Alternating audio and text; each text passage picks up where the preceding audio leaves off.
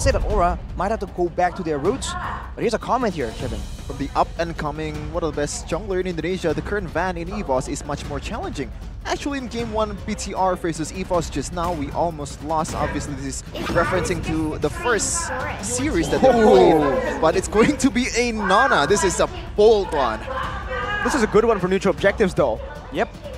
I mean, I was expecting the Nana to show up a bit more, a bit earlier in the league so far, but hey, it's a good pick. With everyone corralling around the box here, right? Everyone trying to fight together. The Molina is going to be so annoying, but you have to keep in mind now that Nana passive no longer gives you movement speed. So it is a lot more vulnerable in the lane, and Warlord needs to be a bit more careful with his positioning, even though the passive is still available. I don't really know what to go for here or for Fire. Probably something that can split push like along the lines of Paquito or Benedetta. Oh! the signature the choke comeback. comes out! He's inspired, man. He's seen Bruce Gold. Oh my god, against this team, I did not expect it. I did ask him in the back. Uh, I was with Arashi and the export too. What? Arashi, there. It's a Nana, it's a Barat, it's a Minotaur and a Harith. This is. Oh, man. And Oh. the Fanny for Van. Oh, we've. Okay. What I a just, banger. I just broke my fast. This is way too spicy. Oh, but. What?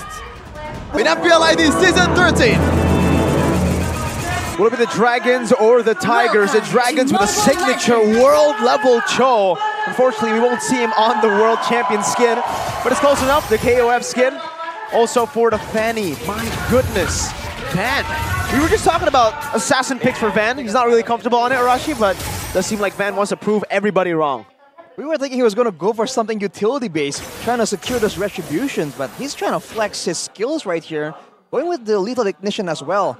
Aura, they gotta be a, be a bit more careful right there, especially with the more vulnerable laners that they have. But that mid lane is definitely a power side for Aura that they can take advantage of. And to be fair, the only real threat for Van is that Chou. And looking at this, it looks like Gugun will take the mm-hmm. first Lethal Wonder with the Retribution. Showing again the great retreat that Gugun has been showing Oh. so far, but there you go, that's the passive. You can see it's he's moving a lot slower. No longer is just scuttling away out of sight, so that can very easily be punished the longer the game goes when you're positioning away from your turrets. It's really hard to lane against Vexana. Even though she got nerfed, I believe the projectile, the first kill, you know, speed is lowered about 10%. That's a really good nerf, I guess. But it's still one of the best mages in terms of like just laning phase, just you know, chunking away all the HP. Meanwhile, Van, no one saw that. Don't worry. Ooh, little cable maneuvers there, but it's still Gugun who is ahead, who has invaded the enemy jungle too. So Gugun's doing a good job at using this Baxia to try to limit the maneuvers and the farming from the Fanny. Fortunately for Van, no real deep invades have come from the side of Aura just yet. And speaking of uh, emblems, by the way, Kabuki with the Quantum Charge, uh, I believe Mirko prefers this combination over the Breeze Smite. Yes. Good combination of utility and sustain in the lane. Going up against a Harith, that's definitely going to help out with the uh, the harassment. But here we go, first neutral object. What has transpired in our absence? And Turtle. So Aura got the Turtle and Makes First sense. Blood. I wish we could have seen how they did it because we were speculating already a step ahead for Aura. And look at their emblems, man. Again, Yawi is intending to be all across the map. Agility, Wilderness Blessing. The longer the game goes, the more he's gonna be, he's gonna be trying to be annoying. And Yehezkiel on the Vexana. He's trying to roam around too, but there you go. Whoa! Early flicker with a Terrify now. Van very low. There's an Eternal Guard as well there from Yehezkiel. Just got to play it real, real safe. Yeah, speaking of playing real safe though, Veldora as a Parazzi XP against a export, like this is a match made, you know, it's a nightmare's matchup for him. He's gonna get chunked up real bad, especially before objective fights. And like, what of your job is to kind of survey the map and see what's uh, what uh, what options are available. It's gonna be hard for him to even stay alive. Good poke onto Van Strong. Pops in that regen. Yeah, he's looking for an initiation, a pickoff perhaps right now.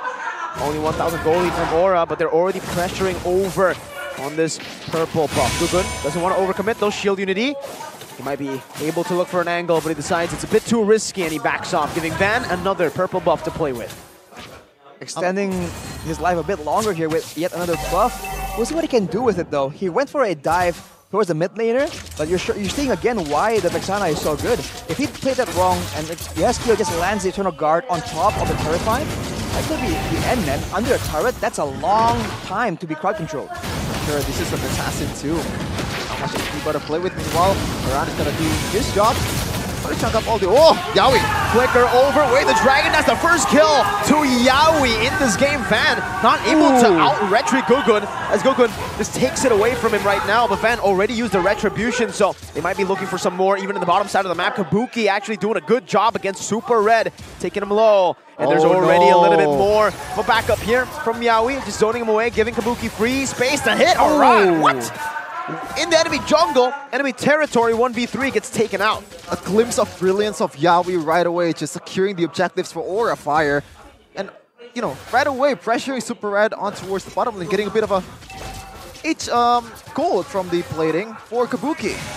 And how Kabuki is playing the lane though, just impudently standing in front of Super Red, knowing that when it comes to just basic attack DPS, he wins it out. But Super Red with the Starlium here, now it's gonna be just that much different. Aura might have to be a bit more careful. Wow. The most unreal stat. Yep. I mean, we saw it, like the four-man knock-up towards the whole Onyx team is just absolutely ridiculous, and he can pick out the perfect target in CW. Like, that was probably one of the craziest pick-off I've ever seen. Meanwhile, he's trying to do so again. Again, Jeet Kune Do away the dragon into the Eternal Guard, and we expected the Minoan Fury to counter the dive, but what can you do when your chain CC'd like that? Around in the mid lane, clearing the waves out away. Veldora's getting melted down by Aran. Look at Veldora's HP. And even in the bottom lane, Yawi, again, Jeet Kune Do over to Warlord. Shield Unity over to Super Reds, and Monforce defensively with a pair Purify as well. Not a turret should be taken down. Veldora's getting chunked as well right now as Yawi zones them away. Evos are still able to clear out the waves, but man, Aura are oppressive. How fun is it to play with Yawi, man? Like, he's just fitting him kills. So far, he's 2-0-1. All three kills are, you know, created by him. Just flickers up. He might be looking for another angle. Especially with the turtle coming up, if they can get another pickup, it's gonna be great. And for Evos, they're struggling right now because Van Strong for now is the main frontliner, and he's crowd controlled, which Aura has a lot of. It's gonna be so difficult for him to try and peel for his team. Well, let's see Oh! right now. All chain CC, and it's going to be Van who wins it out right there. No CC to help Aura. Gugun gets brought back to the team. Aran's going to be targeted down, and yes, skill flicker is out to safety, but no. Van finds the cut through Yawi. Jeet Kune Do flicker combo, bringing Van back for Gugun to slay. Kabuki with a blazing duet now onto Warlord, who's forced to run away and has the passive, but now gets chased down by Yawi. One more hit should do it. Ooh, Warlord's missed. Yawi's looking for the play, but he missed it earlier to shut to get away, but Veldora eats him up, and it's an overall great trade for Evo's glory. For sure, but the gold lead is still towards Aura. There's still a lot of hurdle to climb for Evo's glory, but a win is a win nonetheless. Great move from Evos there to try and find a way to really win that fight out by just rushing, forcing Aura to, kind of make a quick call in the middle of everything without getting the proper setup. Even though, if you think about it, Veldora on the EXP lane bullied by the X-Borg, and Van Strong is bullied by all the crowd control. The frontline possibility for Evos is just made very difficult by Aura. So that's how they're really trying to bully Evos away from the objectives. But if Evos get there first, then that's where they can kind of dictate what happens. Yeah. What a play, though, from Veldora. Flicker and Detona's will come. Yeah. I've never seen that, actually. That was a combo that was used quite a lot last week. Okay, interesting, but yeah, Veldora, the longer the game goes, I think it favors Aura much more, especially Van. And This, this, this we're talking about Assassin here. Like, it's gonna fall off for sure in the late game, and there's a lot of room to play with for Aura. A lot of creativity, I guess, like in a way on how you can approach the team fight. But yeah, again, Van, no one saw that. The No MPL worries. pressure, man. You miss one cable and you hear you heard the fans. Yeah, Just yeah. go crazy already. It's got to be quite demoralizing for sure. Evos now, just look at how safe they're playing. They're sending two members to escort Super Red. Oh, no. Van's in the area. Is he gonna... No, he's Way not gonna crowded, walk yeah. into it. Now the Lord is up. And Aura is still on the other side of the map though. Evos makes the first move. Yehezkiel, the terrifying Oh, Eternal Guard there you finds in go. the outplay Van!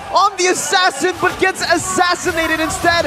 Yawi Oh. eaten up right now with a Minoan Fury. Veldora flickering. No, he doesn't get to the wall. Yawi's able to flicker out and Shunpo. Aran very deep in enemy territory. Brings him back very low. Aran hiding back. Flickers out. Super Red pops into Zaman Force, but he's not able to find the hit to reset his second skill. And that means it's a free lord over to the Dragons without the retry being used up. Gugun wants to go for the enemy purple buff. Once again, Gugun's showing class in the objective department, but I don't really get it. Why would you go for Chou with Shunpo available, with Jeet Kune Do available, and also Flicker available? He's gonna get away quite fine. And he did. Man, that was just so difficult. Van was that was a bold move from Van. I get that he has the Malefic Roar right now, and the Heptasis, he has burst damage, but against a Vexana, this is exactly what makes her so dangerous. Deathly Grasp into Eternal Guard is basically a guaranteed knock-up hit. The Eternal Guard is definitely gonna land if you land the Deathly Grasp first. So unless Van dodges that, there's just no way. Just like that, Aura takes momentum, takes the turrets as well, and they're still looking for more as Van. Oh, Van on the S kill. Oh no, Van! Gets locked up again! Kabuki finds the kill! Yeah, Yehezkiel survives! And it is again a disaster for Evo's glory! Van says hi, Yawi says, what's up, bro? You're gonna get kicked. And another kill, courtesy of Yawi. I mean, we, we were talking about, oh, he let Van play, but looks like the Dragon Aura is meant specifically to really deny any real chance of pickoffs coming from him. The peel towards the backline is just insane right now. Sure, and right now 5k gold lead. Entering the 11th minute or 12th minute of the game for Aura versus Evo's Glory. Kill department 3 for Aura. It's looking pretty bleak, I gotta say, for Evos, especially when they have a much more early game composition rather than Aura. And audience prediction also says 60 to 40, Rashi. 60 for Aura, I think that's fair. Evos can still come back right here by all means. It's not, it's a 5k gold lead, but look at this. Aran of all people getting engaged on. Desperate Detona's welcome onto a run. They tried. Get the Oh. Faraga armor. Gugun's going Oh. in. Eternal Guard. Super Red, is he going to be dead here? Oh my goodness. He gets out just barely. But man, every attempt that Evo's Glory are trying right now, it's just not working. Man, if Yehezkiel landed the Curse Yeah. Blast on top of the Eternal Guard, that was done. He was playing it a bit conservatively, which is fine, right? Aura can just cruise right here. That was a play initiated by Evos, and yet they were the ones who almost lost a member. Aura is just content playing for objectives, waiting for the next fight where, can, where they can once again punish Evos for this composition with a very squishy front line that's behind on items. They're gonna be so squishy for everyone on the side of Aura to take out.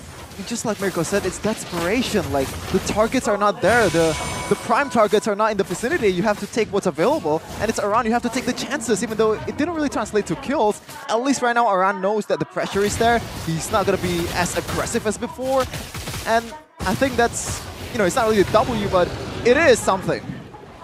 Well, shutting a run down is definitely a huge plus if they can do so, but in this late stage in the game, targeting him when the objective is almost up, where he has the Firaga armor as well, it just shouldn't work. But like I said, there's not a lot of options left for Evos right here, especially with Aran just out there Again. right in their faces. All right, let's see if this if this works out now. Eternal Guard onto three. Faraga armor. They got a Faraga armor. Wow. The peel. Wow. Desperate, and it did not work. Again, second Lord secured for Aura. Just the pseudo pressure that Aran puts, man. Like every time he's in the front line, you can't really close up. It- it- whether you're Veldora, whether you're Van Strong, the two frontliners are not frontlining. You know, the crowd control coming in from Yehezkiel on the Vexana isn't really all that wide in AoE. It's just one small circle. But you saw right there, multiple members just keep getting hit by it. And I dare say that's because Yawi has been so dangerous that everyone from Evos don't feel safe just being too far apart from their teammates. At, at least far enough for for Yawi to just find an opening. So that is how Aura is just forcing Evos to play a certain way. And once they do, they have the solutions ready for it. So this is a layered strategy, a layered approach coming from Aura. And look at the wave management, man. Wow. It's almost perfect. They have another Lord on their side too. They can use it to their advantage, but looks like Evos will try to make a quick work of this Lord. Can they do it? Still going to charge in, despite them trying to chunk it down. Mid lane as well, dealt with pretty well by Evo's Wow. Not able to crack the base open with the first or the second Lord Panther right now. Kabuki's doing a good job though right now with the BMI. Pops in, Eternal Guard, knocking Veldora off, and that's going to be a lockdown actually. Aran jumping in as well with the last Insanity onto Veldora. He might be able to find that, and my goodness, he just takes him out. That's a free turret too as Aran just flickers out to safety, buys the immortality now. Lord number two gets them the first base turret, and look at that turret up top. It's very low. Van's looking for a trade. He should be able to get it, but at what cost? Aura are not stopping the siege. Yawi has been quiet for the last few minutes. He looks to, to find something here. Let's oh, Already see. has the flicker Oh. as well. Oh man, that BMI up top. Did you guys see that? Kabuki just pops into Battle Mirror Image to get the last few hits onto that base turret, and it was low enough to get taken down by just Dexter. Man, Yehezkiel though, getting taken out right there. Definitely not ideal for Aura, but at an 8k gold advantage, they're just running with the plan, right? They're still staying in the jungle. They don't care if their jungle is up. They're, it's Oh, about wow. denying Aura, but look at Van. No purple buff. Didn't get it. Gugun took it. again, showing his class. He's handsome. Honestly, I. I think they could have gone for a little bit more there for Aura, even though it's 4v5. They have Aran, they have the pull. Actually pulled like four or three people there. Could have been something, but they choose to go for the discipline route, and I think that's kind of a good thing too. I think especially without Yehezkiel on the Vexana, he is right now a huge bulk of their pickoff potential and their damage. I'm wondering, once we see the items, is he going for the fleeting time? Because when you're this ahead, generally what you want to do is wait for the first target to appear, use everything, delete him, and then rinse and repeat. And just like that, usually the Eternal Guard is on cooldown for only about 20 seconds. That is massive. For sure, man. Just the zoning. It's not just Aran, but Yehezkiel. Like everyone, Kabuki even. You can play like Skylar. Quite aggressively using the BMI to chunk up all of the frontliners from EVOS. And there's nothing EVOS can do about that. They have to chunk the Friaga armor first to make something. Oh, Yawi, look at that conceal. Oh my god, they baited out the Deathloop welcome for nothing. Oh, good burst damage onto the back. But Yehezkiel still was able to walk out. Man, just with the conceal, they bait out the Death as welcome, and it's a free lord again to Aura. That's the Yawi pressure we've been talking about.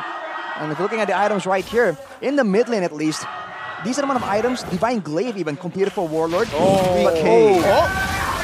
Only gets the kick out to Veldora. Earlier, Veldora with a flicker out right now. Last Insanity onto Van Strong as Van tries to deal with Kabuki, but is not going to be able to do so. Immortality, Van Strong popped down. Super Red with his on force right now, but Gugun will just soak it in and run back to safety. Has Immortality. Kabuki now with Blazing Duet gets bursted down. Oh, Kabuki loses the Immortality now as Aran tries to back him up. That's a Wind of Nature pop, but Super Red deals magic damage and takes him down. Gugun running Van Whoa. down, goes in for Shield Unity. Van should still have the cables.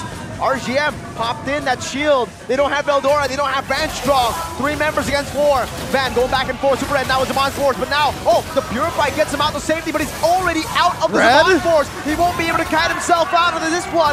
And now the base is wide open, even though Van tries to go for the assassination. Only the base is what is available to be assassinated. Aura takes game one. They strike first, quite convincingly at that. Just using Yawi to perfection in the early game and using the zoning potential from Yehezkiel